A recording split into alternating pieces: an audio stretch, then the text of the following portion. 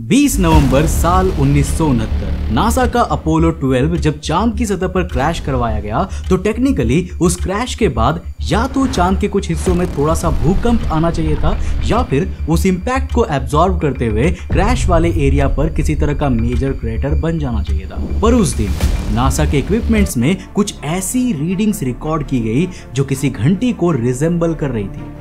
मतलब सिंपल भाषा में बताएँ तो उस दिन उस टकराव के बाद चाँद ठीक उसी तरह से रिंग किया था, जैसे आउटर फोर्स अप्लाई करने के बाद किसी घंटी में रिंगिंग साउंड आती है। अब देखो, बात क्या है ना, कि आप किसी भी घंटी को क्यों ना देख लीजिए, उसके स्ट्रक्चर का सबसे बड़ा फंडामेंटल यही है कि जिस भी स्ट्रक्चर पर स्ट्राइकिंग साउंड किया जाता है, वो अंदर से हमेशा खोखला, यानी कि हॉलो होता है। तभी तो उससे उस तरह की रिंगिंग वाली साउंड क्रिएट होती है। लेकिन साल 1969 के इस इंसिडेंट में अगर चाँद ने इस तरह का कोई भी कैरेक्टरिस्टिक्स उस समय शो किया तो क्या इससे ये माना जा सकता है कि हमारा चाँद ऊपरी सतह के अंदर पूरी तरह से खोखला पड़ा हुआ है?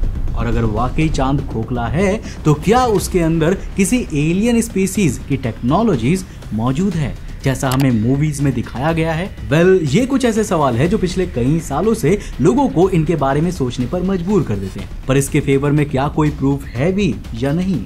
इन प्रूफ्स को जस्टिफाई किया जा सकता है या नहीं? और अगर उनका जस्टिफिकेशन पॉसिबल नहीं है तो उन क्लेम्स के पीछे की रियल साइंस क्या है? वेल आज के इस वीडियो में हम इसी चीज़ को एनालाइज करते हुए मून के एक एलियन स्पेसशिप या फिर खोखले होने की पॉसिबिलिटी के बारे में बात करने वाले हैं। तो हेलो गाइस मैं हूँ कौशिक और चलिए शुरू करते हैं एक और नए एपिसोड को।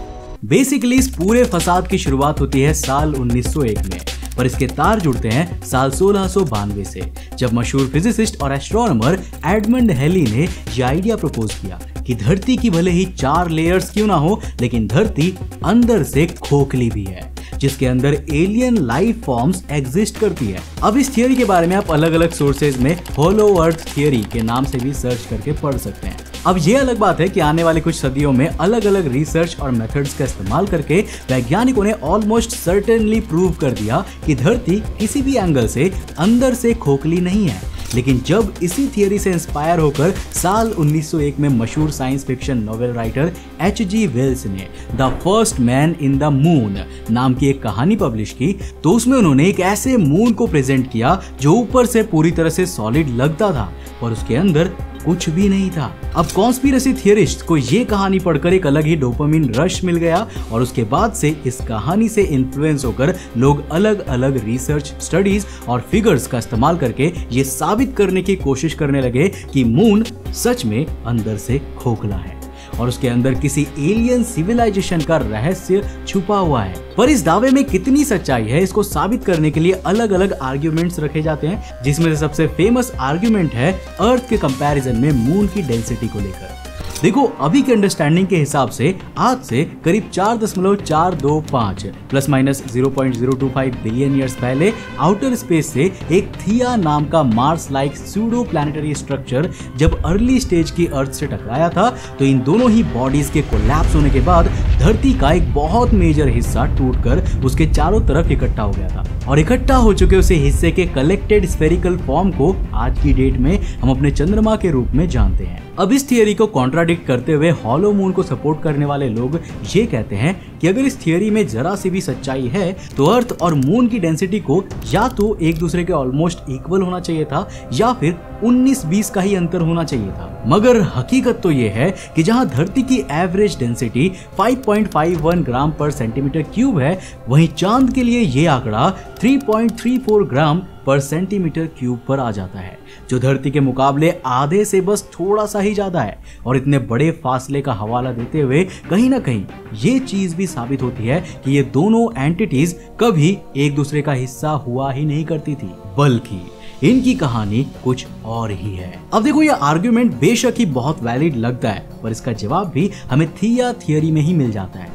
दरअसल, आज से लगभग लगभग साढ़े चार अरब साल पहले जब थिया धरती से टकराई थी, तब उस कोलिजन का असर धरती के कोर तक नहीं पहुँचा था, बल्कि पृथ्वी का जो हिस्सा पृथ्वी से अलग हुआ था, वो या तो उसके अपर क्रस्ट का था, या फिर आउटर मेंटल का। अब वो दौर जब अर्थ भी अपने अर्ली स्टेजेस पर थी, ऐसे में भी अगर आप ओवरऑल अर्थ को हटाकर सिर्फ़ अर्थ के क्रस्ट की डेंसिटी देखेंगे तो वो करीब 2.7 ग्राम्स पर सेंटीमीटर क्यूब थी which is very close to the density of the moon और इसीलिए अगर हम ये माने कि उस टकराव के बाद सिर्फ़ अर्थ के क्रस्ट और मेंटल का ही हिस्सा ऊपर जाकर कलेक्ट हुआ था तो मून की डेंसिटी का फिगर बिल्कुल सटीक निकलकर इस लॉजिक के सामने फिट बैठ जाता है। अब चलो ये तो हो गई नंबर्स की बात, पर साल 1969 में जो सबने विटनेस किया, उसे तो कोई नहीं नकार सकता ना। फिर उस रीडिंग को देखते हुए कोई कैसे इतना सर्टेन हो सकता है कि चाँद के अंदर कोई एलियन सिविलाइजेशन नहीं होगी? तो इसके लिए हमें थोड़े डेटा को स्टडी करना होगा। साल 1969 से 1977 तक जितने भी बार लूनर मिशन एग्जीक्यूट किए गए, उसमें पहली रीडिंग्स को देखकर नासा ने बहुत से सिज्मोग्राफ्स मून पर इंस्टॉल करवा दिए थे, ताकि चाँद पर आने वाले भूकंप को देखते हुए उसके अंदर क्या क्या है, उसका आइडिया लगाया जा सके। अब इस मैप में आप देख सकते हैं कि कौन कौन से एरिया पर उन अपोलो मिशन के इक्विपमेंट्स लैंड कराकर इंस्टॉल किए गए थे। इन्हीं इक्विपमेंट से जब रीडिंग्स एक्सट्रैक्ट की गई तो वो कुछ ऐसी दिख रही थी। और ये रीडिंग्स हमें दो अहम बातें बताती है। पहली तो ये कि area to area moon quake की रीडिंग और उसका इम्पैक्ट बदल जाता है और शैलो और डीप क्वेक्स के अकॉर्डिंग कई बार रिज़ल्ट भी चेंज हो जाता है। वहीं इन रीडिंग से दूसरी बात यह भी पता चली कि धरती की तरह ही चाँद पर भी भूकंप के दौरान वाइब्रेशंस एक जगह से दूसरी जगह तक ट्रैवल करते हुए अपना असर दिखाती है। फिर चाहे उस क्वैक को आर्टिफिशियल ही क्यों ना क्रिएट किया गया हो, अब ये दोनों प्रॉपर्टीज़ धरती और बाकी सारी सेलेस्टियल बॉडीज से रिसेंबल करते हुए इस बात को दर्शाने के लिए काफ़ी है कि चाँद के कोर और उसकी आउटर सरफेस के बीच की जगह खोखली नहीं है, बल्कि उसमें किसी न किसी डेंसिटी के साथ मैटर ज़रूर भरा हुआ है। और ये उन दर्जनों कारणों में से एक है जिससे अपने मून के हॉलो होने के चांसेस ना के बराबर पहुँच जाते हैं। अब रही बात रिंगिंग वाले रिज़ल्ट की तो ग्राफ दिखाते हैं कि चाँद पर आने वाले शैलो मून क्वेक्स, यानी वो जिनका असर ज़्यादा गहराई तक नहीं जाता, उनमें ही मोस्टली इस तरह के रिंगिंग रिज़ल्ट को ऑब्ज़र्व किया जा रहा था due to differences in textures type and density of the planetary strata लेकिन उनमें से कोई भी रीडिंग किसी भी खाली जगह को बिल्कुल भी सिग्निफाई नहीं कर रही थी। अब इसी डेटा को जब आगे आने वाले बाकी डेटा जैसे थर्मल रेडियो एक्टिविटी और ऐसे ही रीडिंग्स के साथ सिंक्रोनाइज किया गया तो रिज़ल्ट के रूप में हमें मिला ये पोर्ट ट्रायल, जिसमें आप oxygen, silicon, magnesium, iron, calcium और एल्यूमिनियम से बनी मून की अपर क्रस्ट के साथ साथ उसकी बाकी लेयर्स को भी ऑब्ज़र्व कर सकते हैं। हाँ देखो यहाँ पर एक कोइंसिडेंस ज़रूर है, जिसको सुनकर पहली बार मैं भी सरप्राइज़ हो गया था, जिसको साल 2022 में आई मूवी मून फॉल में भी केसी रेफर करता है। और वो ये कि सूरज हमारे चाँद से 400 गुना वाइडर है। और गजब का इत्तेफाक तो ये है कि अर्थ के परस्पेक्टिव से सूरज हमारे मून से एग्जैक्टली 400 गुना ज़्यादा ही दूर भी है, जिस वजह से ये दोनों सेलेस्टियल बॉडीज आसमान में बिल्कुल सेम साइज़ के ही लगते हैं। अब इस चीज़ के लॉजिक को अगर एक्सप्लेन करने की कोशिश की जाए तो वो तो देखो कोई भी साबित नहीं कर सकता, जिस वजह से कोई ही माना जाए तो ज़्यादा ठीक है। क्योंकि ज़रूरी नहीं है कि ब्रह्मांड में हर चीज़ के पीछे कोई ना कोई माइंड बेंडिंग लॉजिक होनी ही चाहिए।